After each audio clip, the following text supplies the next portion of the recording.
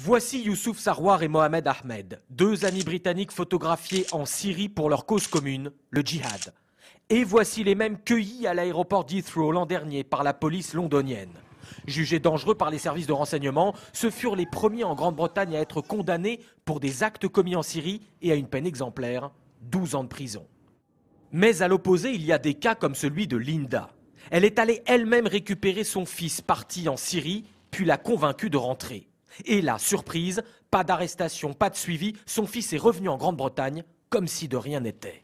Le gouvernement, tout le monde est au courant que mon fils est rentré et on n'a reçu aucune aide, aucun soutien.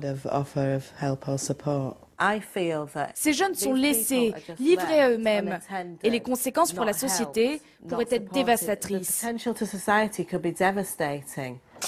Aujourd'hui, le retour des anciens djihadistes ne se fait qu'au cas par cas. Pour éviter toute prise de risque, le Premier ministre souhaite renforcer la loi.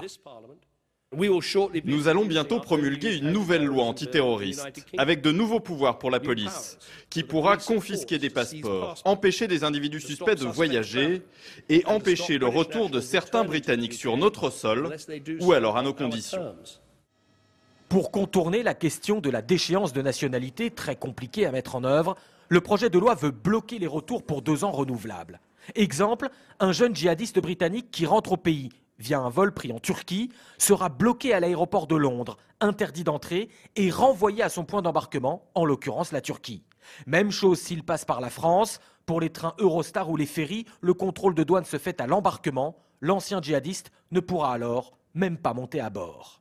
Cette nouvelle loi antiterroriste devrait être votée dans les mois qui viennent. Elle devrait aussi inclure un volet sur les programmes de déradicalisation. Ils se font aujourd'hui sur la base du volontariat et deviendraient alors obligatoires.